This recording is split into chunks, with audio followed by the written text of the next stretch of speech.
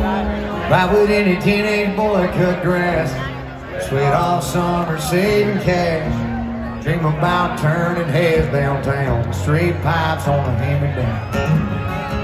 How would anybody's daddy get around?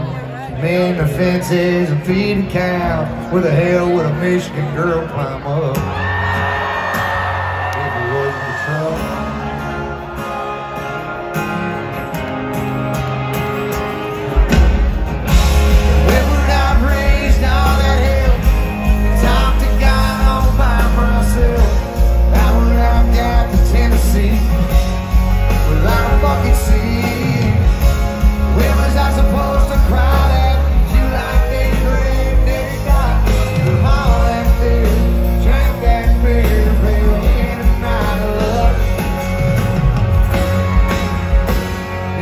Super the truck.